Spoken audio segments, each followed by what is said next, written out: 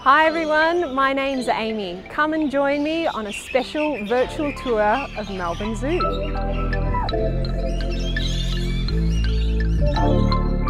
Thanks, Amy. It's Gus here. I'll be your virtual tour guide as we explore Melbourne Zoo together. First stop is the Gorilla Rainforest Trail. Here you'll find ring-tailed lemurs. These Madagascar natives lord over the zoo's Lemur Island, an exhibit that zoo visitors can walk through and get nice and close to these striking primates. Around the corner, you might smell the next animals before you see them. The western lowland gorilla family that lives at Melbourne Zoo includes Kimya, baby Kanzi, Yushka, and big silverback Etana. We might see if we can get a better view of them at the next viewing spot.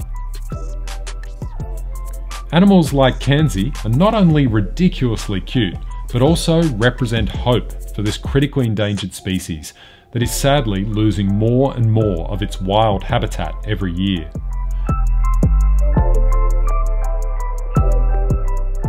Did you know you can help Kanzi's wild cousins by simply recycling your mobile phone? Head to our website for more info.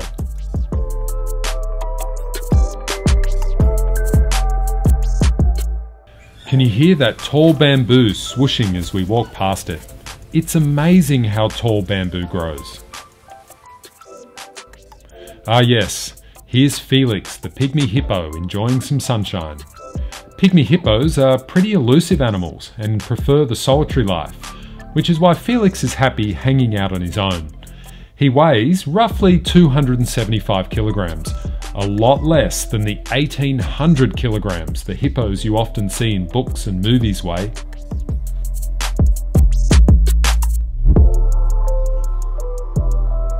Can you spy Zilly the cassowary in here? Everything from her blue neck, red wattle, and hard casque on her head make her one of the most striking animals in Australia. Let's go and see the treetop apes and monkeys now.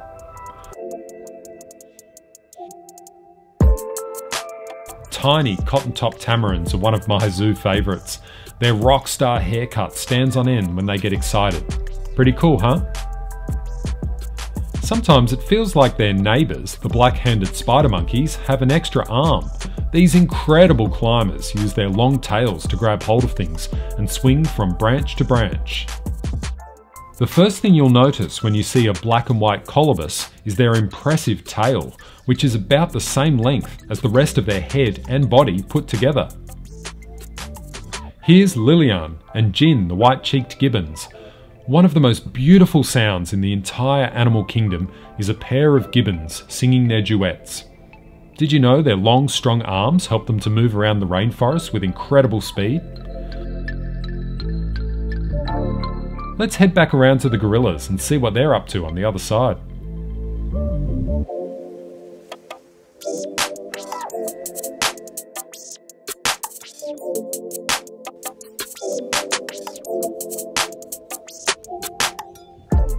Welcome to Trail of the Elephants.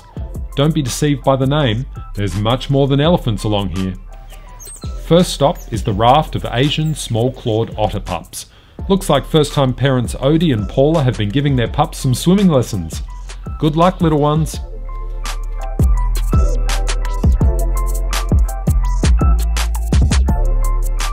I think we all know what animal is coming up next. There are three Sumatran tigers living at Melbourne Zoo. As solitary animals, they live by themselves. Hutan and Binjai live on this trail, swapping exhibits every few hours to make sure they have new areas to sniff and explore. Sadly, there are estimated to be fewer than 400 Sumatran tigers remaining in the wild, making these animals even more precious. Let's wander up here and see what's further along the trail. Melbourne Zoo's beautiful and iconic butterfly house. Hmm, it's always nice and warm in here.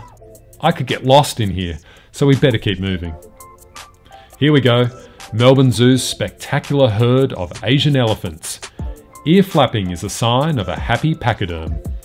Unlike African elephants, only the male Asian elephants have tusks. And while many people know that ivory poaching is threatening elephants in the wild, Habitat loss and humans encroaching on elephant habitat is one of the biggest problems that these big friends are facing in the wild. Unsustainable palm oil plantations that are springing up across Southeast Asia are a massive problem for elephants, but you can help them by asking our politicians to make palm oil labelling mandatory in Australia.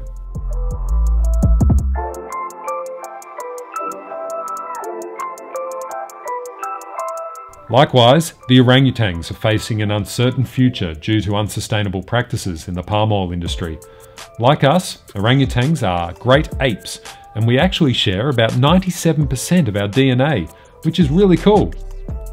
Okay, let's head out into the sunshine and see who else we can visit. Clinton and Nakuru, the giraffes. The tallest mammals on Earth spend a lot of their day stretching those long necks up and stripping leaves off trees with their long blue tongues. Alright, let's go and see some Aussie animals.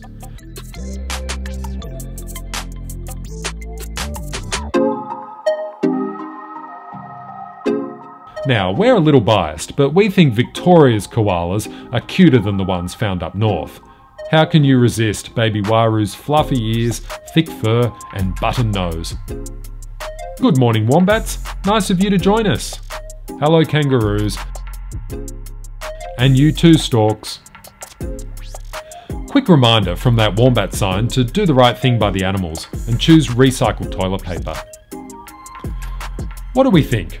Black with white stripes or white with black stripes? These extraordinary stripes are unique to every single zebra in the world, which, when you think about how many zebras there are, is pretty mind boggling.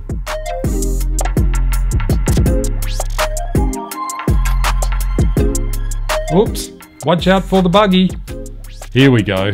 These baboons are always busy and up to something. Baboons live in hierarchical troops, with the big boss baboon having the biggest and pinkest bum, and also big hair. Everything about him is actually pretty big.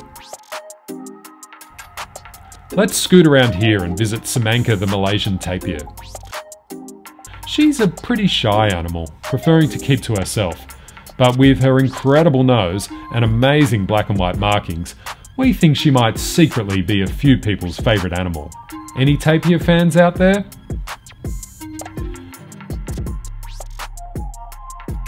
The collared peccaries are just next door to Semangka. If you look really closely, you'll notice the hair on their neck is lighter than the rest of their body, hence why they're called collared peccaries. Here we go, the carnivores that live at Lion Gorge.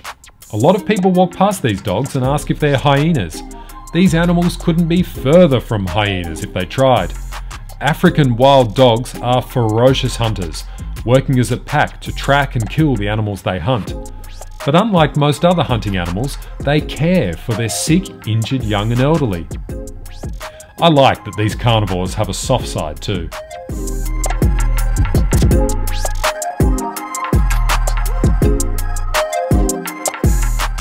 Hello boys, Ndidi and Zubiri the lions are keeping a watchful eye over their kingdom.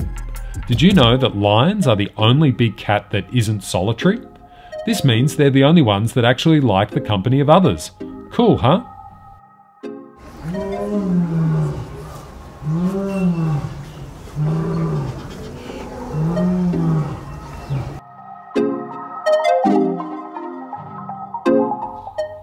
Everyone loves the busy coatis at Melbourne Zoo.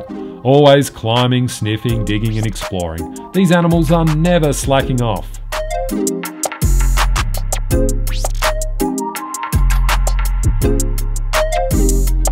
Speaking of never slacking off, new mum Miska has her paws full raising three snow leopard cubs at the moment.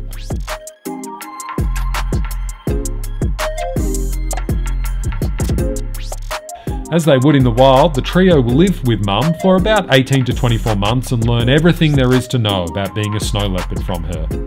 Poaching and habitat loss are threatening snow leopards in the wild. It's hard to believe that anyone would want to do anything that would harm these balls of fluff. As we zip through Cat Alley, please remember to keep your cats safe at home rather than roaming the streets. This is for both their sake and the sake of wild animals that live near your house.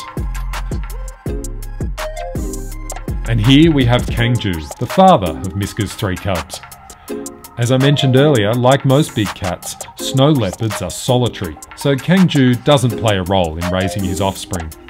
But judging by that strut, we'd say he's not too fazed about missing out on the joys of parenting. I spy Indra stalking us in the bushes. As with her relatives at Trail of the Elephants, Indra also prefers to live by herself, where she can lord over her territory and ambush any predators that come her way.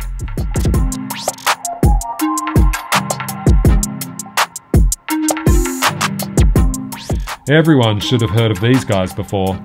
Tasmanian devils are the largest carnivorous marsupials in the world. This means they're the biggest meat-eating mammal that carries its young in a pouch on Earth. Sadly, these guys are facing a really uncertain future, with road accidents and a contagious cancer called devil facial tumour disease threatening them in the wild. But we're working hard to change their fate. Okay, let's see what else we can find up the main drive.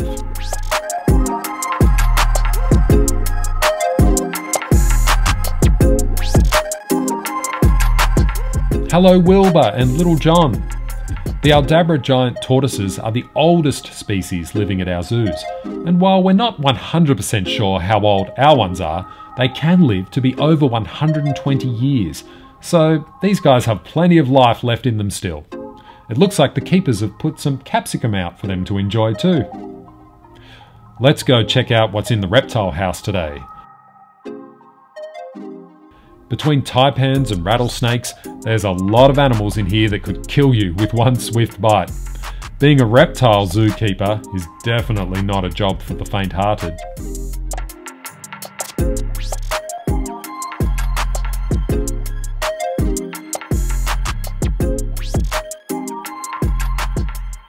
Did you know that when the Europeans first sent a platypus specimen back to England to be studied, the scientists thought it was a hoax? They assumed someone had stitched a beaver and a duck together to play a trick on someone.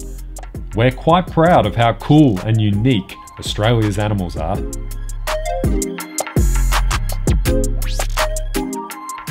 Next up, we've got the animals of Wild Sea. There's the pelicans and the rays, and of course, the majestic seals swimming around. Have you heard about our Marine Response Unit, which rescues wild seals that have run into trouble?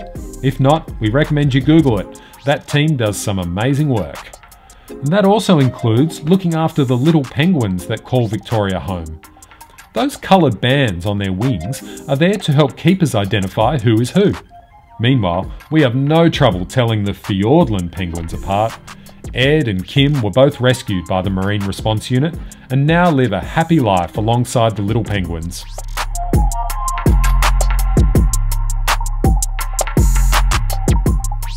Look up high and you might spot red pandas Seba and Rashani.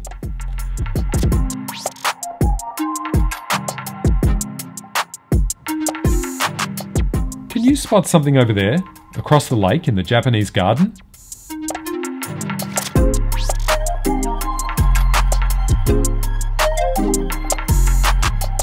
It's the siamang family.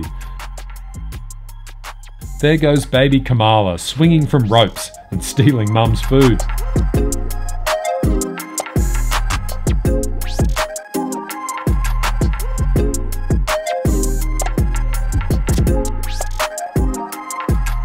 There's one more animal we need to go and see. Can you guess what it is? It's the meerkats. These tiny but busy carnivores are always on the lookout for predators and threats.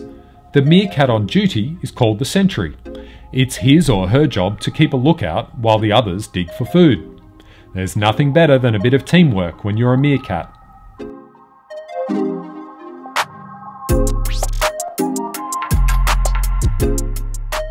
It looks like the keepers have been creative and popped some treats in the bottom of this bucket of leaves. This is called enrichment, and it encourages the meerkats to practice their natural foraging behaviours. Thanks for joining me for this virtual tour of Melbourne Zoo. We hope you enjoyed it.